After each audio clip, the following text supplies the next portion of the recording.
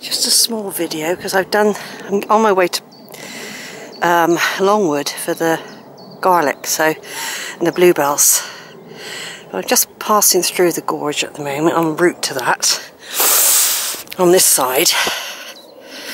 On a nice sunny day in May, May the 15th, 2016. And, uh, yes, I'm just ambling along. There's quite a few young people out walking. There's hardly anything on as well.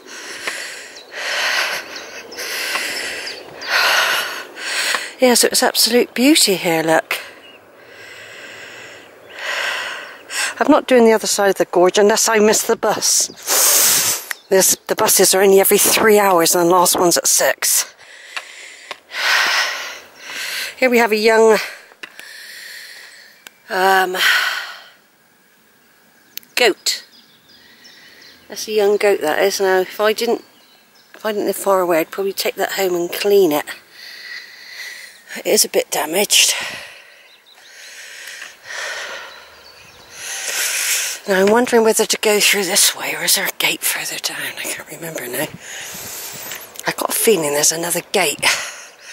But you can sort of get over there. Haven't decided yet. Over and out.